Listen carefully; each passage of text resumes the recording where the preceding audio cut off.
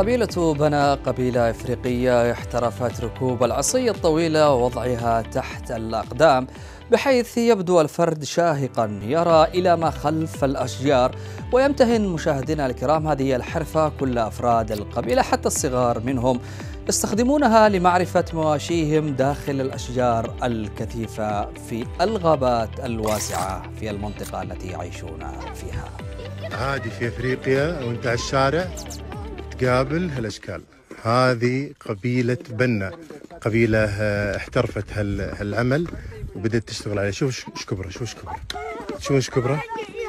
هذا عمره يعني في سنتين ونص ثلاثة أتوقع.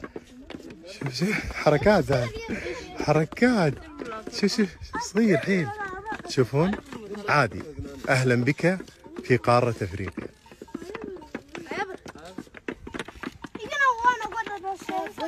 شوف شوف هذا أصغر واحد فيهم قبل لا أصورهم لكم شوف صغير شوف صغير شوف صغير. شوف شوف شوف شوف شوف, كيف؟ شوف صغير شوف.